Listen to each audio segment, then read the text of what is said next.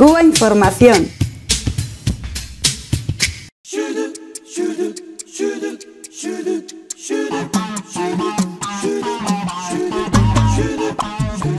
Bueno, vamos a continuar con el programa, en este caso hablando de eh, Felipe González, el expresidente español, la visita eh, que ha hecho a Venezuela y bueno, pues sabemos que ha salido de allí prácticamente por la puerta de atrás. Así que voy a, pasar la palabra a mis compañeros para hablar de este tema. Felipe González ha salido por más bien por el avión de atrás, porque el, el presidente de Colombia, la Fuerza Aérea Colombiana, le ha puesto un avión a Felipe González en Caracas para, para salir de Venezuela. Es algo que en principio ha molestado al gobierno venezolano, que ha pedido explicaciones a Santos, a Juan Manuel Santos, presidente de Colombia, por qué, cuál es la razón por la cual eh, Felipe González, una persona absolutamente rechazada eh, por una buena parte del pueblo de Venezuela y rechazada su visita por parte del, gobierno de Venezuela desde hace meses, por, por, o sea, por la campaña que inició Felipe González hace meses contra el gobierno de Venezuela y poniéndose al lado, incluso ofreciéndose como abogado de varias personas eh, detenidas, o sea, presas en, eh, por golpismo y por incitación a la violencia y por estar detrás de 43 muertes en Venezuela. Eh, sabiéndolo eso el gobierno de Colombia, sabiendo que, bueno, en estos últimos años las, relaciones entre Colombia y Venezuela se han suavizado, se han normalizado, pues no parece muy elegante la colocación de un avión para el señor Felipe González, que, que podría haberse ido de Venezuela exactamente como entró, por un avión eh, normal de línea.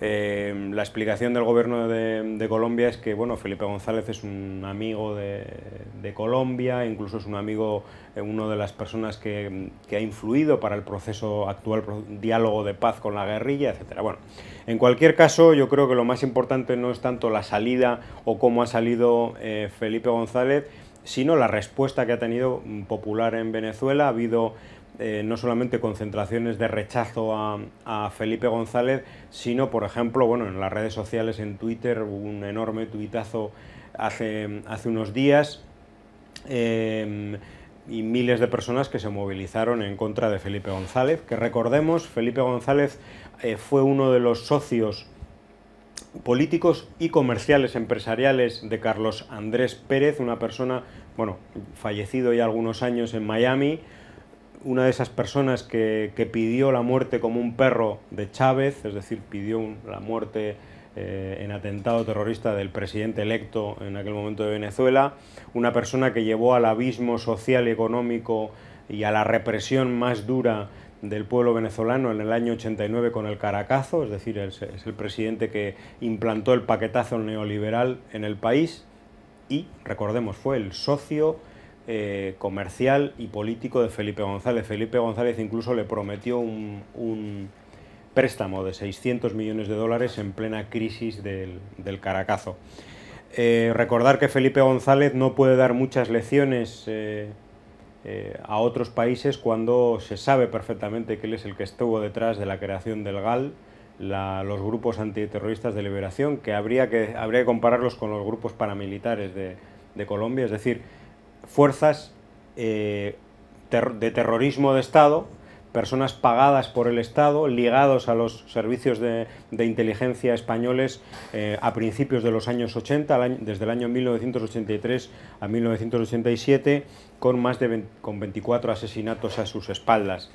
Eh, recordar bueno, pues las, circunstancias que vivió el Estado español, el País Vasco, etcétera, em, durante el mandato de Felipe González, los enormes casos de corrupción bajo su administración. Es decir, que poco puede enseñar Felipe González a otros países y, desde luego pocas lecciones puede dar. Bueno, quizá tiene que enseñar algo porque eh, él al llegar allá hablaba de de diálogo entre buenos y malos venezolanos.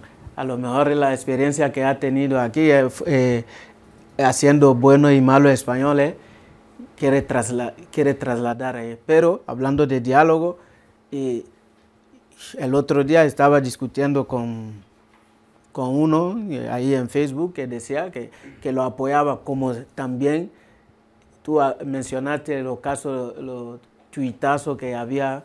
Sin embargo, aquí, Telecinco, por ejemplo, donde yo vi la llegada de, Felipe González en Caracas, siempre enseñaba, decía, donde quiera que Felipe llegaba, hay un grupo eh, para apoyarlo. Y entonces había que abrirle camino, abrirle el paso para que pudiera caminar. Entonces, esa es la otra información que ellos daban. Y entonces ese hombre me decía, no, porque él vino para buscar diálogo entre esa gente. Además, a, Leopoldo le han encerrado por no sé qué. Entonces yo le digo, bueno, si Felipe González como expresidente quiere diálogo, no puede llegar a Caracas diciendo yo quiero apoyar a, un, a una parte. ¿eh? Tiene que venir para escuchar también, porque nosotros vimos en la cumbre panamericana, donde una de la, una esposa eh, viuda, eh, que, cuyo, cuyo, marido fue víctima de, de, las guarimbas, decía, por lo menos tú tienes a tu, a tu esposo en la cárcel. Yo todos los domingos tengo que ir a visitar a, mi, a la tumba de, de, mi, de mi esposo. Y entonces, reconócelo y, y Felipe González, por lo menos, hubiera dicho, mira, quiero encontrar a esa víctima también, si, e, si de verdad quería eh, un diálogo, no, pero desde fuera estaba diciendo, yo vengo como abogado de, de esa gente. Ya cuando entró, vio la, la, realidad, quizás lo sintió y estaba diciendo, eh, no vengo como abogado, sino, y como se llama, un apoyo técnico que quiero dar a esa gente no, desde luego en el caso, en el caso venezolano, pues ya sabemos eh, sobre todo la manera en que los medios de comunicación han tratado el tema. O sea, esto ya viene de, hace mucho tiempo. Nos han eh, mentido descaradamente desde los medios de comunicación y tenemos una información sobre Venezuela. Hemos estado recibiendo, por ejemplo, aquí en el Estado español, información sobre Venezuela eh, de una situación tan catastrófica que luego no entendemos cómo los chavistas ganan las elecciones. O sea, ese es el, es el gran problema, porque dicen los medios de comunicación, no, no, si Chávez eh, los chavistas van a perder, Maduro no tiene nada que hacer y tal. Y luego cuando salen los resultados electorales y, ven que ha ganado Maduro, por ejemplo, la gente aquí dice, no, no, eh, tiene que haber sido un fraude. O sea, es imposible que si la realidad de Venezuela es esto que nos han estado diciendo aquí, eh, pues alguien haya apoyado, alguien haya votado a este señor. No solo que alguien lo haya votado, sino que haya ganado las elecciones. Y sin duda se debe a, la manera tan mentirosa, tan falsa y tan manipuladora en que los medios de comunicación han tratado todos estos temas. Eh, por ejemplo, hemos visto en la televisión llegar a una periodista con cámara oculta entrando a, Sara, a la tienda Sara, ¿no? y, ver la tienda desabastecida, ¿no?